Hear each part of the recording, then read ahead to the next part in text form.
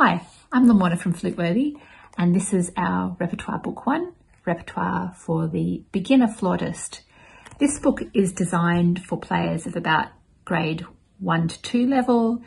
It follows on from Lamorna's beginner flute book, and the idea of it is that uh, students are able to build on the basic techniques that they learnt as a beginner it gives them time to focus on things like breath control and tone production, as well as musicality.